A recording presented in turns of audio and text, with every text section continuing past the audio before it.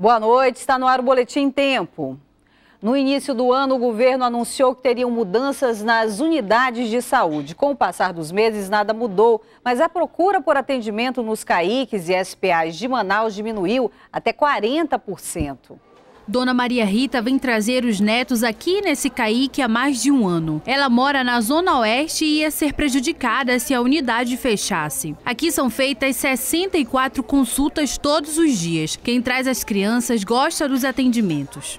Para mim é bom, porque é rápido, só às vezes que demora um pouquinho. Depois do anúncio que iam ter mudanças nas unidades de saúde, por causa da crise econômica, a procura pelos serviços diminuiu. Aqui no CAIC da Compensa, por exemplo, a redução foi de 20%. Mas além da redução de pacientes, algumas pessoas acham que o número de médicos diminuiu. Teve mudança, porque muitos pediatras não estão atendendo, não estão atendendo mais como atendiam antigamente, né? Nesse SPA também da zona oeste da capital, mudanças estavam previstas segundo o governo, mas elas não aconteceram e a procura por aqui também diminuiu 40%. As mudanças seriam através do reordenamento de alguns procedimentos, de alguns atendimentos que iriam ser planejados e direcionados a princípio para a prefeitura administrar essa situação. Com essa notícia, a nossa demanda caiu um pouco, continuamos atendendo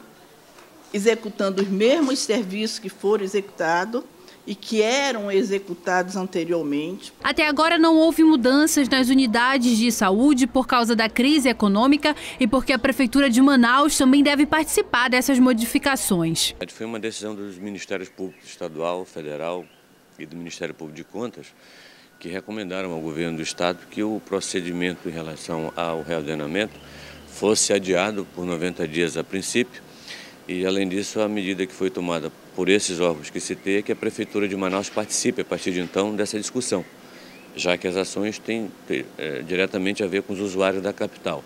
Os serviços continuam normais nos CAICs, CAIMs, SPAs e maternidades, mas é possível que novas reformas no planejamento de saúde aconteçam. A nossa ideia é manter a nossa rede funcionando, com a única novidade que é o projeto que vou apresentar ao governador para a utilização do Hospital da Zona Norte, que está lá pronto e equipado com mais de 380 leitos que deverão ser disponibilizados ainda que em etapas à população de Manaus.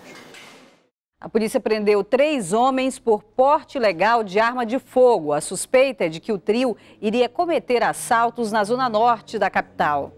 Marcélio Benecon, Diego Salgado e Janderson Guimarães foram surpreendidos quando se preparavam para assaltar um supermercado ontem no Cidade de Deus. Então a equipe passou a monitorar os carros suspeitos e entenderam que havia um grupo conversando e articulando alguma coisa. Ocorre que a equipe interceptou o grupo antes de cometer o fato, até pela questão da segurança das pessoas. Segundo a polícia, Janderson, um dos acusados, estava foragido sem que a justiça soubesse porque existe a suspeita de que outra pessoa se passava por ele dentro da unidade prisional.